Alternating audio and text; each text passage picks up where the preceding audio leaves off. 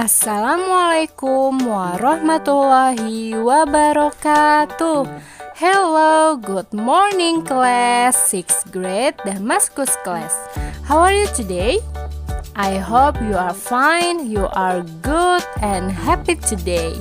Welcome back to Meet Nuricu channel and with me Miss Rahma in English lesson Before we start our lesson, let's say Basmalah together.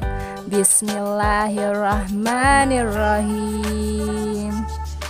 Okay class, today we are going to Unit 6. I played football yesterday. Are you ready? If you are ready, enjoy this video. Let's go. Unit 6, let's learn to tell about past events and regular verbs. Pada unit yang keenam ini kita akan belajar tentang menceritakan peristiwa atau kejadian yang sudah berlalu dan juga menggunakan kata kerja yang beraturan dalam simple past tense. Baik teman-teman, kita ulangi kembali tentang simple past tense. Ada yang masih ingat? Ya, simple past tense ini adalah pola kalimat yang kita gunakan untuk menyatakan suatu kejadian yang telah terjadi di masa lampau atau yang sudah terjadi sebelumnya di masa yang sudah berlalu.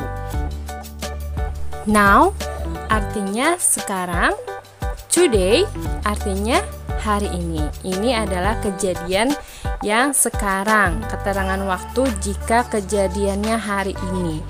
Kalau kita balik ke masa yang sebelumnya, kejadian yang sudah berlalu, di sini kita gunakan keterangan waktunya yesterday, kemarin, last week, minggu lalu, atau last year, tahun lalu. So, to talk about past experiences, we use simple past tense. Jadi, ketika kita akan menceritakan peristiwa atau e, kejadian yang sudah berlalu, maka kita gunakan polanya adalah pola simple past tense. Simple past tense regular verbs. Regular verbs artinya adalah kata kerja beraturan. Nah, hari ini kita akan mempelajari e, menggunakan pola simple past tense dengan e, kata kerja beraturan. In simple past tense, we add ed IED or D into the verbs. Jadi dalam pola simple past tense regular verbs ini di dalam kata kerjanya kita ada uh, penambahan ed, ied atau d di belakangnya atau di dalam kata kerjanya. Contohnya bisa dilihat di sini ya teman-teman. Jika verb pertamanya di sini contohnya adalah play dari verb yang pertama, verb one. Kemudian ditambahkan ed menjadi played, kemudian study menjadi studied, and move menjadi move. Berikut ini adalah pola kalimat di dalam simple past tense. Dalam kalimat positif, di sini kita lihat polanya adalah subject plus verb to plus objek atau complement, objek atau pelengkap. Teman-teman, dalam simple past tense ini kita menggunakan kata kerja yang kedua. Kata kerja yang kedua ini ada yang berbentuk regular verb, yaitu kata kerja beraturan, dan ada juga yang irregular verb, kata kerja yang tidak beraturan. Baik, di sini uh, di unit 6 ini kita akan belajar dengan menggunakan uh, regular verbs yaitu kata kerja yang beraturan. Kalimat negatif polanya adalah subject plus did plus not plus verb one plus objek atau complement. Di dalam kalimat negatif, di sini kita menggunakannya tidak kata kerja yang kedua lagi ya teman-teman, tetapi verb pertama, verb 1. Untuk kalimat tanya, di sini polanya did plus subject plus verb 1 plus objek atau complement plus tanda tanya. Nah, teman-teman diingat ya, untuk kalimat negatif dan tanda tanya kita menggunakannya verb 1. Jadi hanya di kalimat positif yang menggunakan verb 2, verb 2.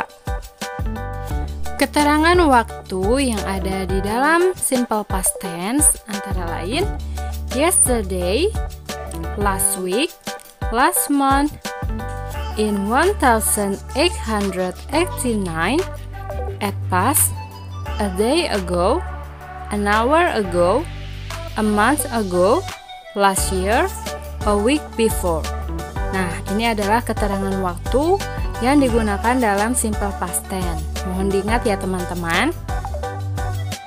Example, in positive sentence, she cooked rice yesterday. Dia memasak nasi kemarin. Baik, di sini kita lihat dalam kata kerja pada past tense ditambahkan ed. Jadi dari verb yang pertama cook ditambahkan ed menjadi cook.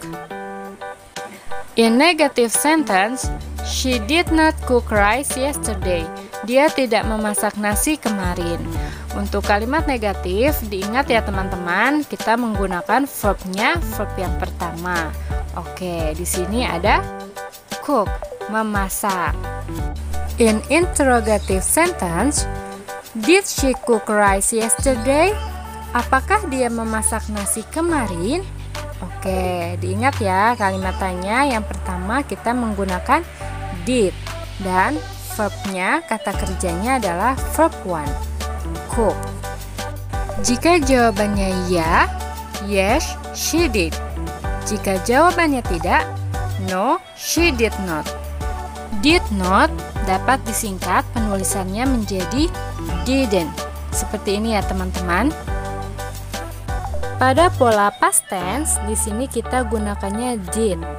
Did ini adalah bentuk kedua dari do ya teman-teman. Oke.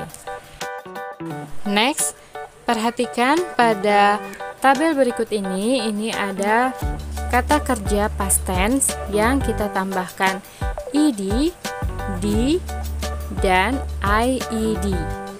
Kita lihat di sini untuk penambahan ed seperti help menjadi help. Oke, di belakangnya ditambahkan ed seperti ini ya teman-teman. Kita lihat yang kata kerjanya ditambahkan di love, live, arrive, smile. Nah, ini ditambahkannya di teman-teman. Oke, dipahami juga dihafalkan ya. And then yang kata kerjanya ditambahkan IED seperti try menjadi tried, study menjadi studied, cry menjadi cried. Next, let's practice together. Rina, bla bla bla, open the box yesterday. Rina membuka kotak kemarin. Nah, di sini kita lihat teman-teman, kata kerjanya adalah yang di dalam kurung ini. Open, membuka. Nah, karena keterangan waktunya di sini adalah yesterday, kemarin, maka ini adalah pola kalimat past tense. Maka kata kerjanya adalah harusnya kata kerja yang kedua. The answer is Rina opened the box yesterday. Opennya ditambahkan ed. Rino bla bla bla walk to school last week. Oke, bagaimana teman-teman? The answer is Rino walk to school last week. Oke, walknya berubah menjadi verb to. Let's repeat again.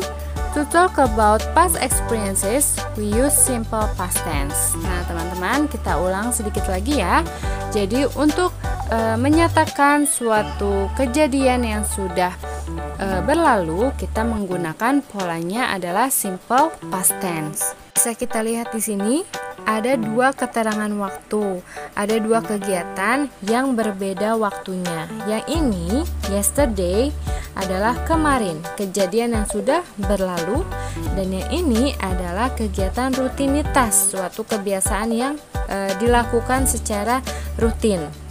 Bisa dilihat ya teman-teman perbedaannya di sini. Untuk past tense menggunakan verb to. She cleaned the whiteboard yesterday. Dan yang ini adalah uh, simple present tense.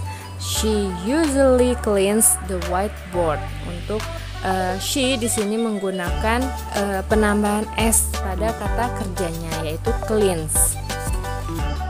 Teman-teman, diingat ya, dalam simple past tense kita menambahkan ed, ied, od dalam kata kerjanya. Seperti contoh play menjadi play, study menjadi studied, move menjadi move.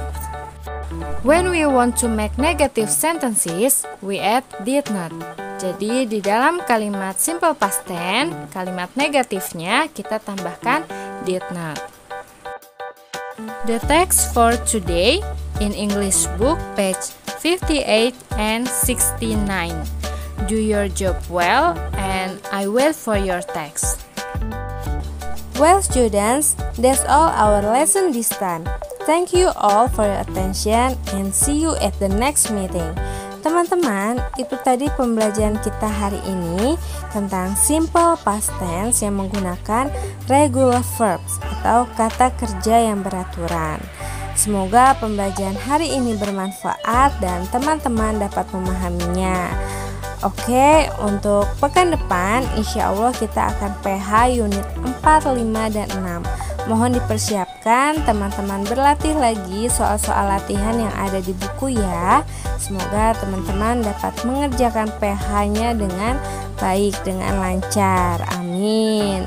Oke, okay, before we end this lesson, please say hamdalah together. Alhamdulillahirabbil alamin. Wassalamualaikum warahmatullahi wabarakatuh. Stay safe, stay healthy, and see you. Bye.